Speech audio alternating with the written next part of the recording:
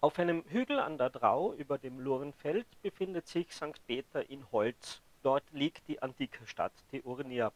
Der Hügel war bereits im 11. vorchristlichen Jahrhundert besiedelt und bot einen optimalen Siedlungsplatz mit eigener Wasserversorgung.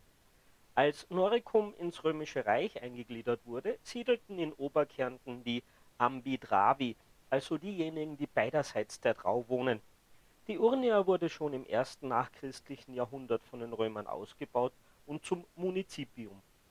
In den unruhigen Zeiten der Spätantike kam die Urnia seine Lage mitten in den Alpen zugute. So dürfte in Oberkärnten das zivile Leben lange halbwegs normal verlaufen sein. Es gab keine Notwendigkeit, Truppen in die Urnia zu stationieren. Am Beginn des 5. Jahrhunderts wurde die Stadt sogar zur Provinzhauptstadt von Binnen Noricum. In dieser Zeit wurden Häuser abgerissen, um das Material für den Bau einer Ringmauer zu verwenden.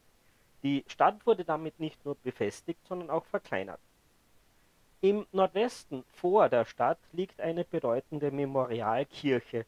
Sie wurde Anfang des 20. Jahrhunderts entdeckt und ist mit etwa 22 mal 9 Metern im Hauptschiff beachtlich groß. Gut erhalten sind die Apsis mit Klerusbank, das Presbyterium mit Altartisch, der Narthex und zwei Seitenkapellen, wobei die südliche besondere Beachtung findet. Sie verfügt über ein Reliquiengrab und ist mit einem prächtigen Mosaikboden ausgestattet. Er besteht aus zwölf Feldern mit christlichen Symbolen. Oben links beginnt die Darstellung mit einem Adler, der oft mit Christus verglichen wird.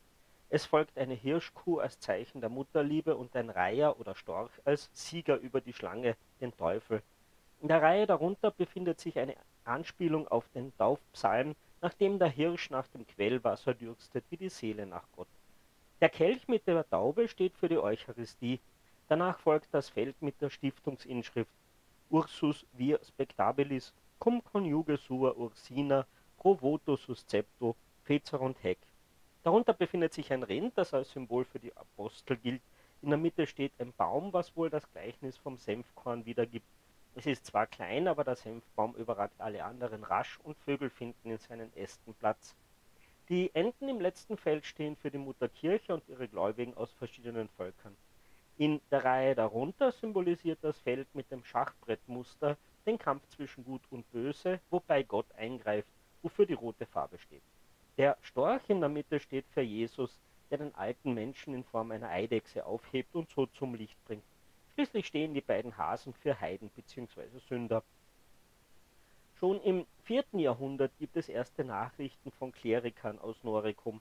343 nahmen norische Bischöfe am Konzil von Serdica teil. Bereits Ende des 4. Jahrhunderts steigt die Bedeutung des nunmehrigen Tiburnia als Bischofssitz. Übrigens gibt es noch heute die Urnia als Titularerzbistum der katholischen Kirche. Mit 430 wird eine einschiffige Bischofskirche datiert. Im 6. Jahrhundert wurde die Kathedrale nach einem Brand in eine dreischiffige Kirche mit vorgelagertem Narthex umgebaut. Damit haben wir in Tiburnia einen letzten Rest römisch-christlicher Zivilisation.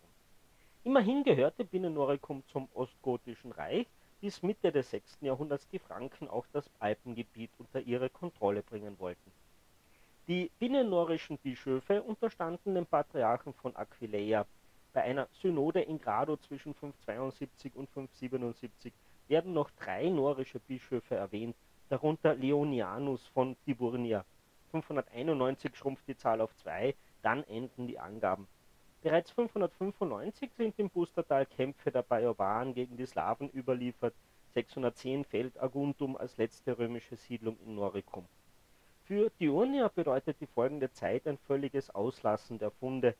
Erst die Conversio Baguariorum et Carantanorum aus dem 9. Jahrhundert erwähnt wieder eine Civitas Liburnia. Das kirchliche Zentrum Oberkärntens lag damals allerdings in Molzbichel östlich von Spital die heutige Kirche St. Peter in Holz wird erst im 11. Jahrhundert urkundlich erwähnt und hat ihr Aussehen aus dem Spätmittelalter